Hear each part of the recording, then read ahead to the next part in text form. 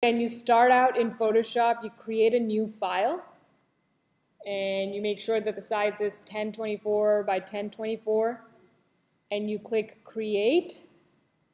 And the best way to test out if your map is working, again, you do, you can just start off by a simple test where you use a simple brush to create a simple mountain like that, just like the simple hill. And then you save that as a Photoshop uh, raw file. And you call it test hill. You can call it whatever you want to. And I'm just going to save this here. I'm going to remove that P. Uh, and then I'm going to go to um, Unity, click on my terrain, go to my terrain settings, go down here and click on import raw, locate that file, and I saved that here, and click open, and it'll give you this. You have to make sure that this is the right resolution, like 1024 and 1024. Click open, and again, of course, I'm recording and it's not going to work.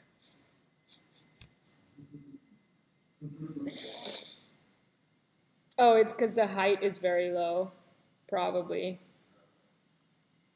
Yeah, so I'm going to fix that to 500. Yeah, so you can see that now. And then you see like these weird lines in here to fix that what you have to do is fix the height resolution over here, height map, it's in texture resolutions. When you import this, if I lower this to 256 and resize, it starts to look a lot better. Okay, so this is one way of testing out if your export is working right or not. So once you're done doing that, you can go back to Photoshop, you can bring in the different images that you have, say I want to use this image, I'm going to place that there. And what I can do is, I'm just going to move this here. Actually, let's just keep it centered. What? New black background. And turn this layer off. And then I'm going to move this over here and adjust the brightness and contrast of the layer that's directly below by clicking on this. So it tells you that this is the layer that you're working on. And then you can either make it bright or you can increase this contrast to sort of get rid of those edges. And you can also get rid of these edges by creating a mask and painting on that mask using a soft brush. So if I were to paint, oh no, oops, right here. This is the layer that I want to create the mask for. Using a soft brush, just like blend in these edges. You know, so it's, it's not like a super straight line like that. Okay, so that sort of like helps us. Anyways, so once you have that, you can import other mountains too. You can duplicate the same mountain.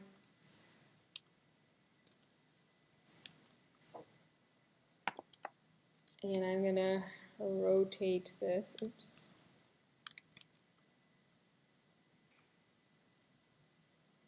And probably have this up here. Wait. So have another mountain right here. Move it down there, probably. But you can basically blend various uh, mountains together and then sort of create a valley if you want. And then I'm going to create a brightness and contrast just for the layer below directly. Increase the contrast. Maybe a little brighter. And then again, remove the edges by using a soft brush around there. And then I can move this further closer here. And now if I were, say I have like these two different mountains, one is a smaller one, they're gonna be about the same height-ish, but um, because the white represents the highest point, but this is gonna be slightly lower than this one. So we're gonna go to File, Save As, and then again, Test Two Hills.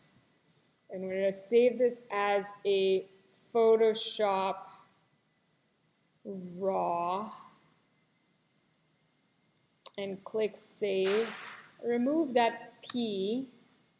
Oh, and this option when it says like, I think this is when it asks like channels and stuff. So I think you have to choose non-inter, I don't know, interleaved order. And then you click OK and then you go here, go back to your terrain, click on import, and go to terrain, and test two hills, open, import, and then you have those roughly the same height. I'm going to reduce the height here, say 350, so that it's not so intense and then I'm going to resize that. And then you can see where I didn't blend, do a good job blending, right, those lines. So you can go back and fix those. And then you can lower this by making it a little darker. You can also lower this by going here and paint lower or raise height and then you hold shift and you can lower the height here like this if you want use a softer brush, a brush size that's a little bigger, and then shift, and yeah.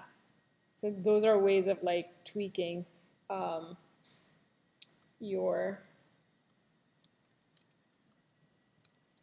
terrain even more. But it's better to do this in Photoshop so that you get the layers like a little better. But yeah. See how this is blending a little better? So if I were to lower this,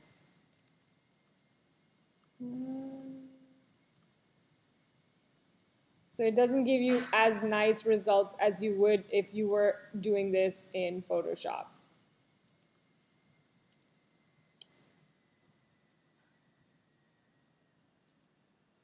So go back, and I think that's it. Um, now for recording, what do I do to stop recording? Oh, right click here. Stop.